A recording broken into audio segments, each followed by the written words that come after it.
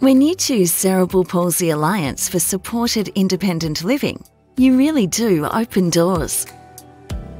You open the door to experts who have been supporting people with physical and intellectual disabilities for over 75 years.